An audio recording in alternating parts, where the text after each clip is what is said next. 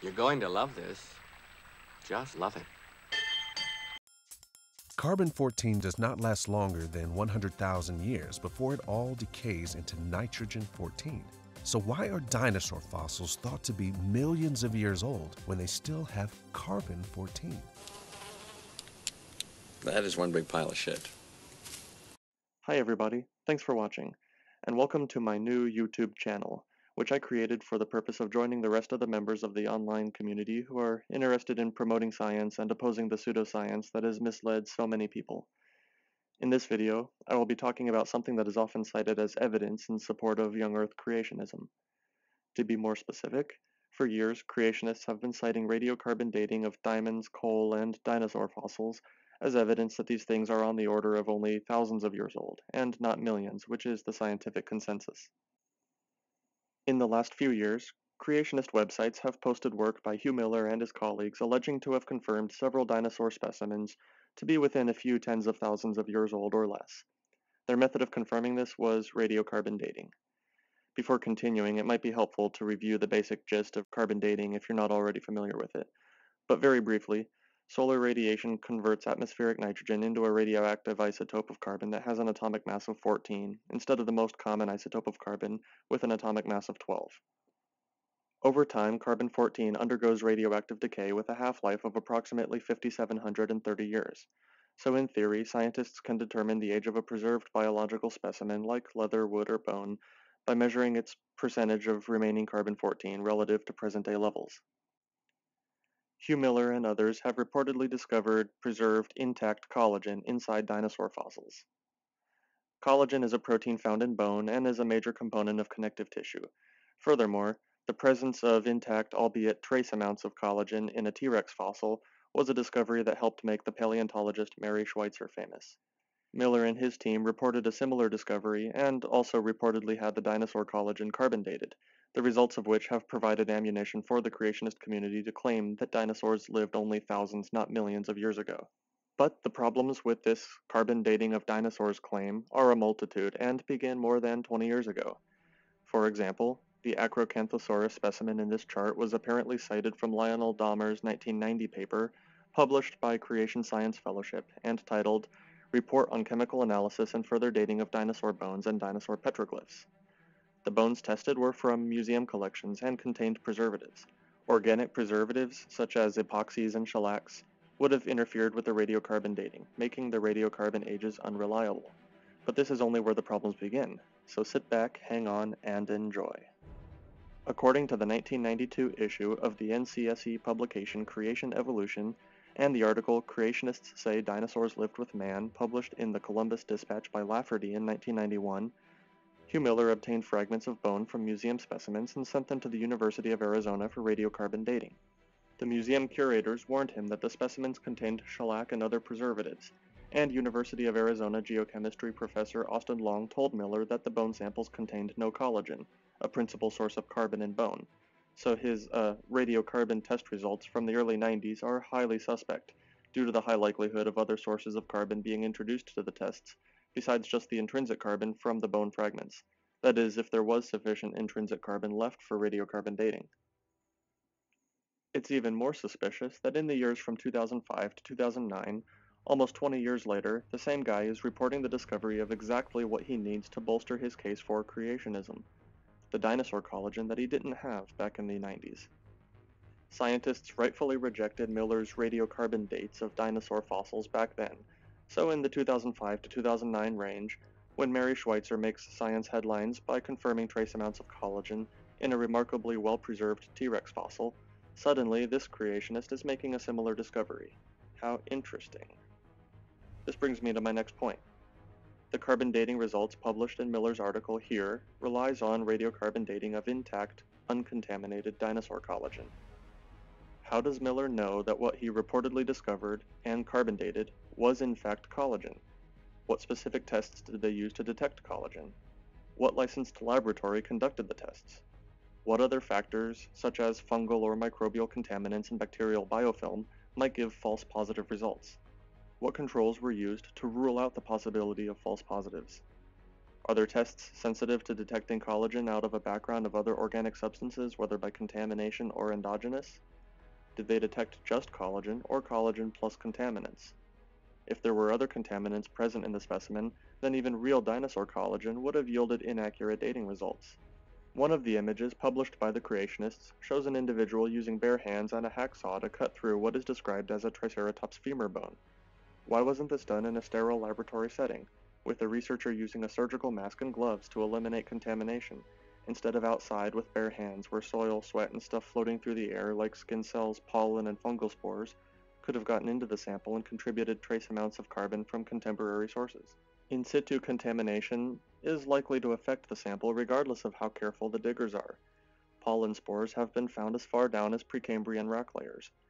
By the way, the fossil of a pollen-producing plant is never found in Precambrian layers, hence the pollen spores show up there by contamination. Biofilm from soil bacteria can also introduce carbon contamination. Now the creationists argue that chemical pretreatment removes bacterial contaminants, but what they don't mention or don't understand is that alkali pretreatment with sodium hydroxide removes organic acids like humic acid, which is the principal carbon-based component of soil, but not necessarily protein-rich contaminants from humans or bacterial biofilm. When Mary Schweitzer reported the discovery of collagen from a dinosaur fossil, she was met with criticisms like some of those that I've already mentioned. So what did she do? She performed a wide range of appropriate tests to confirm the presence of osteocyte proteins, including immunohistochemistry, mass spectrometry, and atomic force microscopy. Even so, she still reported the presence of contamination from soil bacteria, which would have affected the carbon dating results if fragments from Schweitzer's T-Rex specimen had been sent out for radiocarbon dating. So it's highly unlikely that Miller's claim of uncontaminated collagen is true, however much he might insist otherwise. Perhaps even more suspicious than the insistence that his collagen discoveries are uncontaminated is the amount of collagen he reported. In this article, Hugh Miller and the other two authors report that about 0.3% collagen was obtained from the interior of the fossilized Triceratops femur, or 30 milligrams from an 8.4 gram sample. I call bullshit. The collagen discovered and reported by Mary Schweitzer and her team of scientists was found to be in the sub-femtomole range for the alpha-1 type 1 collagen subunit analyzed by mass spectrometry from a 30 milligram bone sample which corresponds to roughly 0.00046%. So the uh, collagen discovered by Miller and his team was apparently not only uncontaminated, but was more than 600 times higher concentration, putting it conveniently within the range of a sufficient sample size for radiocarbon dating.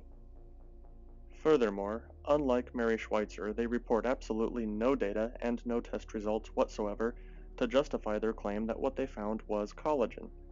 Instead, what they say is, Harvard scientists have confirmed that proteins from the collagen detected in the famous T-Rex was definitely collagen as determined by sequencing the fraction.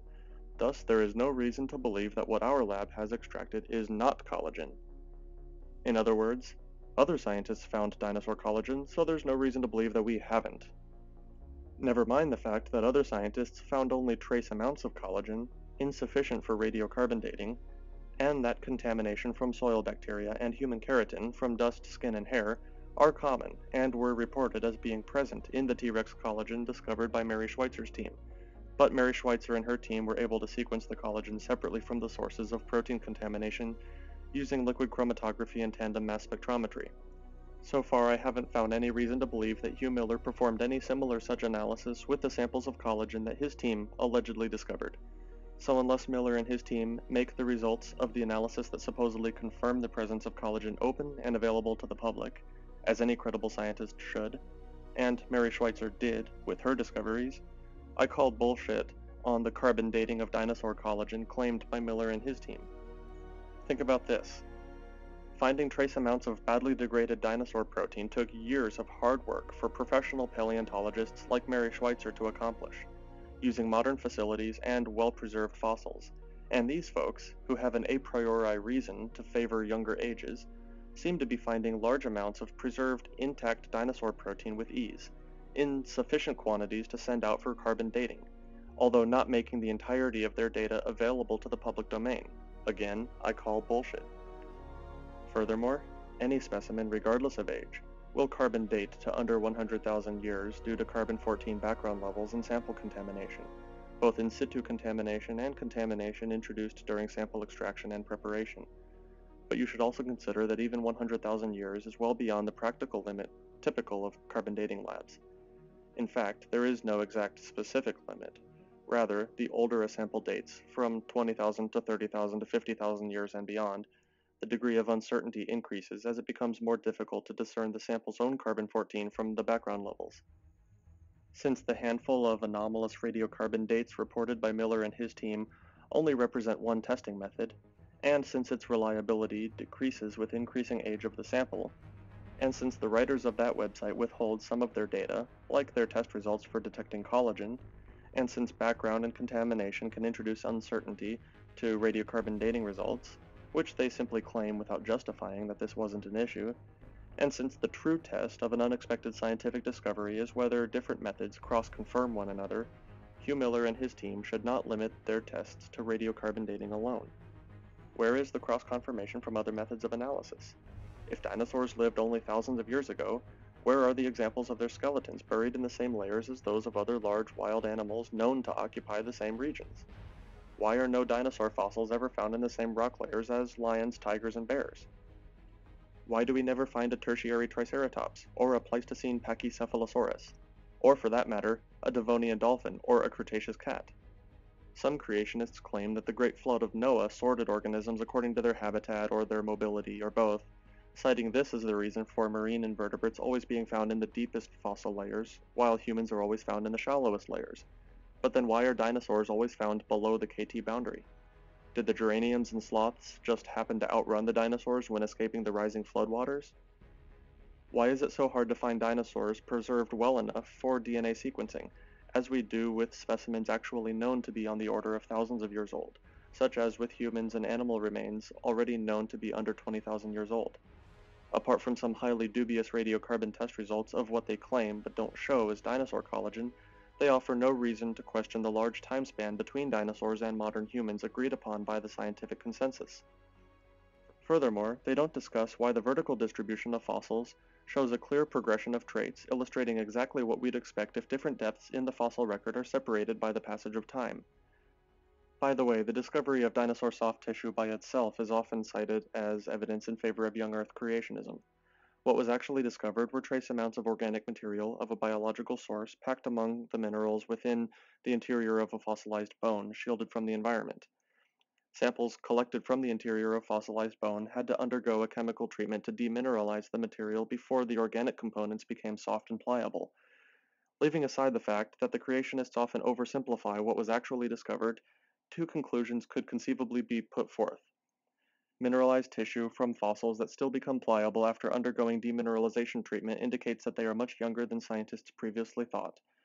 Or, mineralized tissue from fossils that still become pliable after undergoing demineralization treatment indicates that being embedded in densely packed minerals can preserve organic material much longer than scientists previously thought. What creationists have done is immediately clung to the first explanation without offering any justification for why it should be favored over the second. I haven't addressed every single point raised by these creationists about their carbon dating of dinosaurs claim because, frankly, it would take a hell of a long time to take this article apart and point out everything that's wrong with it piece by piece. But I have pointed out what I believe are the three largest and most obvious reasons not to mistake this trash for scientific research. Number one, they do not fully disclose all their raw data and relevant test results, as is standard practice in the scientific community, leaving us good reason to doubt that they found sufficient enough quantity of intact, uncontaminated collagen for radiocarbon dating. Number two, they either ignore or dismiss without justifying the number of factors that could contribute to anomalous radiocarbon measurements in their samples, including protein-containing contaminants such as bacterial biofilms and instrument background. They claim, citing the inventor of the radiocarbon dating method, that collagen cannot be contaminated.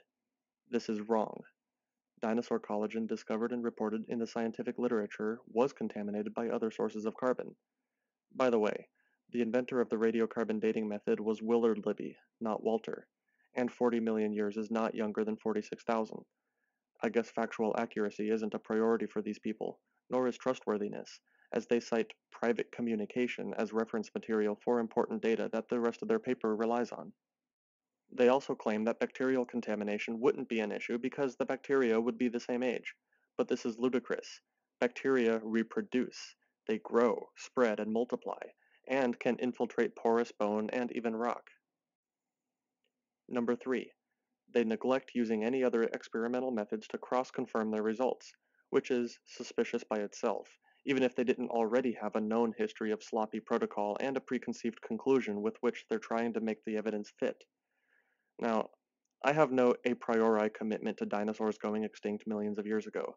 I was a literal six-day creationist for a lot longer than the amount of time that has passed since then.